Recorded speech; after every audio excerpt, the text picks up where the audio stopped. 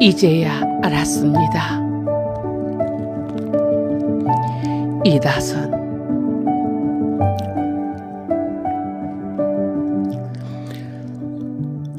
늦었을지라도 이토록 나이 든 후에야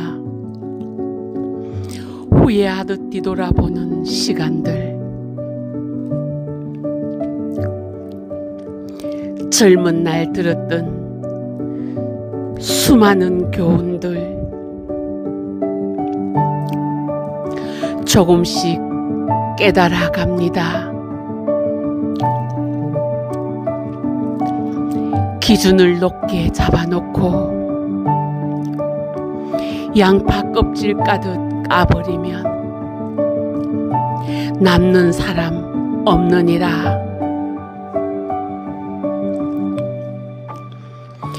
이런 사람, 저런 사람, 모두 다 어우렁더우렁 살아라. 애태우시던 당신의 마음,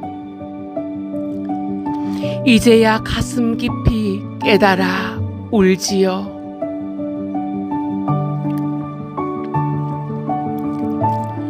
좀 더 일찍 깨달았더라면 더 좋았을 인생길.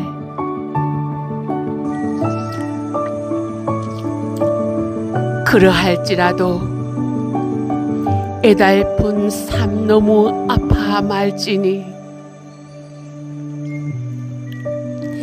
살다 보면 누구의 삶에든 비는 내리고 꽃 피는 날 찾아오니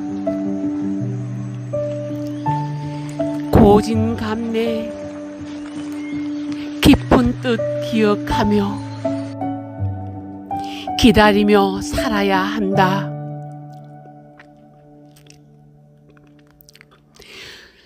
존귀한 사람으로 태어나서 숭고한 삶의 향기를 바라고 싶다고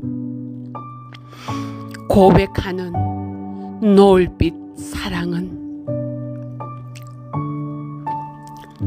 늙어가는 소름보다는 가을 단풍보다 더 고운 빛깔로 곱게 익어가는 것이라고 서로 서로 마음 토닥여 주면서 남은 삶 잘 살아야 한다고 일러 주시던 말씀 늦었지만 이제야 알았습니다.